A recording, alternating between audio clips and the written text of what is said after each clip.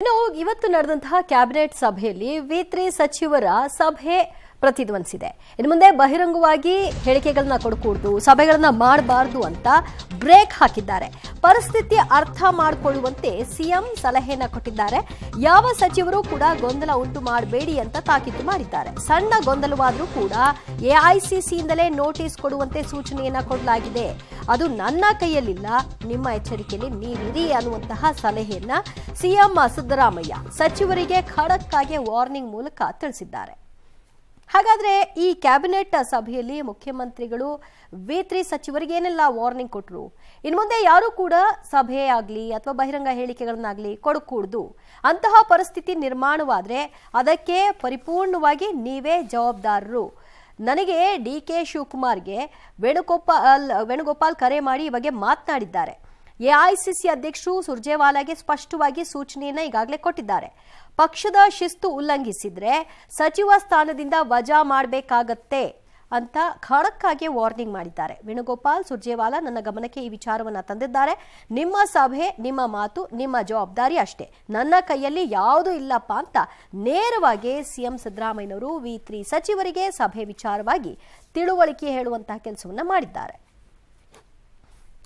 ಇನ್ನೇ ಹಾಗಿದ್ದಾಗ ಈಗ ಮುಖ್ಯಮಂತ್ರಿಗಳೇನೋ ಒಂದು ವಾರ್ನ್ ಮಾಡಿಬಿಟ್ಟಿದ್ದಾರೆ. ಹಾಗಿದ್ದಾಗ ಇನ್ಯಾರು ಹೇಳಿಕೆ ಕೊಡಲ್ವಾ? ಈ ಪ್ರಶ್ನೆ ಬರುತ್ತೆ.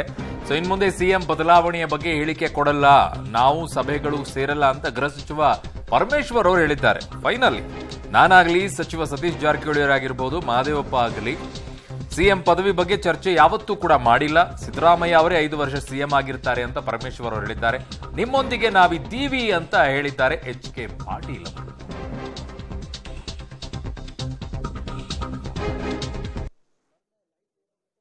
ನಾವು, ನಾನಾಗಲಿ ಸತೀಶ್ ಜಾರಕಿಹೊಳೆ, ಮಹದೇವಪ್ಪನವರಾಗಲಿ, ನಾವು ಸೇರಿ ಮುಖ್ಯಮಂತ್ರಿಗಳ ಪದವಿಯ ಬಗ್ಗೆ ಚರ್ಚೆ ಯಾವತ್ತೂ ಮಾಡಿಲ್ಲ.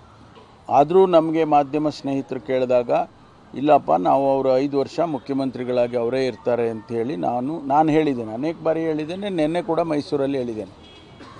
ಅದು ಬಿಟ್ಟರೆ ನಾವು ನಾವು ಯಾರೂ ಕೂಡ ಅವ್ರನ್ನ ಬದಲಾಯಿಸಿ ಮುಖ್ಯಮಂತ್ರಿ ಬೇರೆಯವ್ರನ್ನ ಮಾಡಿ ನಮಗೆ ಮಾಡಿ ನಿಮಗೆ ಮಾಡಿ ಅಂತೇಳಿ ಮಾತಾಡಿಲ್ಲ. ಆದ್ದರಿಂದ ಇನ್ನು ಮುಂದೆ ನಾನು ನಾನು ವೈಯಕ್ತಿಕವಾಗಿ ನನ್ನ ವಿಚಾರ ಹೇಳಬೇಕಂದ್ರೆ ಇನ್ನು ಮುಂದೆ ನಾನು ಯಾವುದೂ ಮುಖ್ಯಮಂತ್ರಿಗಳ ಆ, ವಿಚಾರದಲ್ಲಿ ಯಾವ ಪ್ರತಿಕ್ರಿಯೆಯನ್ನು ಮಾಡೋದಿಲ್ಲ. ನೀವು ಕೇಳಿದರೂ ಮಾಡಲ್ಲ. ಆ? there was a clear expression of solidarity with the chief minister. All ministers present expressed their solidarity with the chief minister.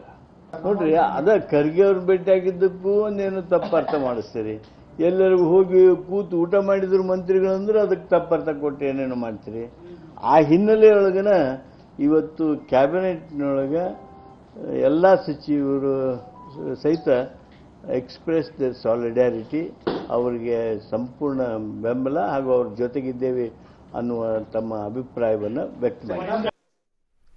ಯಾವ ಮೆಸೇಜ್ ಪಾಸ್ ಮಾಡಬೇಕಾಗಿತ್ತು ಅದೀಗ ಆಲ್ರೆಡಿ ಮಾಡಾಗಿದೆ. ಇನ್ನೇನು ಉಳ್ಕೊಂಡಿದೆ? ಯಾರಿಗೆ ಮೆಸೇಜ್ ಪಾಸ್ ಮಾಡಬೇಕಾಗಿತ್ತು ಅದನ್ನ ಮೆಸೇಜ್ ಪಾಸ್ ಮಾಡಿದ್ದಾರೆ. ನಾವೆಷ್ಟು ಒಗ್ಗಟ್ಟಾಗಿದ್ದೀವಿ ಅನ್ನುವಂಥದ್ದನ್ನ ಹೇಳಬೇಕಾಗಿತ್ತು ಅದನ್ನ ಹೇಳಾಗಿದೆ ಅವರು. ಬಟ್ ಎಚ್ ಕೆ ಪಾಟೀಲ್ ಅವ್ರು ಹೇಳೋ ರೀತಿಯಲ್ಲಿ ಎಲ್ಲವನ್ನ ನೀವು ಹಂಗೆ ನೋಡ್ತೀರಾ ಹಿಂಗೆ ನೋಡ್ತೀರಾ ಸರ್? ಕಾಗೆ ಕೂಡೋದಕ್ಕೂ, ಟೊಂಗೆ ಬೀಳೋದಕ್ಕೂ ಎರಡೂ ಒಂದೇ ಆದರೆ ಏನು ಮಾಡೋಣ ಹೇಳಿ?